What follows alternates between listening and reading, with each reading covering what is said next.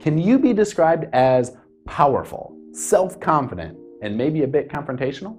Do you tend to be a my way or the highway type of person? Now, it's not that you're pushy, it's just that you're strong and you want to protect the weak and that you're action oriented. Do you thrive on energy and enthusiasm, but occasionally have trouble with your own vulnerability? If this sounds like you, you just might be a type number eight, and I will share more information about what that means in just a second. Hi, I'm Brandon, co founder of Life's Secret Sauce, where we help motivated professionals exude their passions, create life worthy of a story, and become social rock stars by leveraging the skills that we should have learned in school, like reading personality types, how to start a conversation with a stranger, and properly introduce yourself, rather than learning that a strawberry isn't actually a berry, but a banana is. Who'd have thunk it? Anyway, today we are talking about type number eight, and this is the type that is most commonly misunderstood. They're normally seen as a bit too much because they're direct, action oriented, and impactful when really they're just big sweethearts who are trying to save the world. Eights are self confident, strong, and assertive. They're protective and resourceful, yet straight talking and decisive. They can occasionally be egocentric and domineering. Eights feel that they have to control their environment, especially people, which sometimes makes them be confrontational or intimidating to others.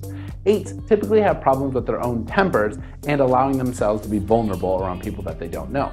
At their best, they are self mastering and use their strengths to improve others' lives and become heroic and inspirational in the process.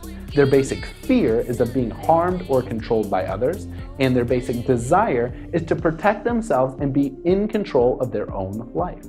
They are known as the asserter or the challenger because of all the types, eights enjoy taking on challenges themselves as well as giving others opportunities to challenge and exceed themselves. Eights are charismatic and they have the physical and psychological capacities to persuade others to follow them into all sorts of endeavors, whether that's starting a company, rebuilding a city, running a household, waging war, or making peace. To get along with an eight, simply let them be in charge every once in a while. They cherish being in that leadership position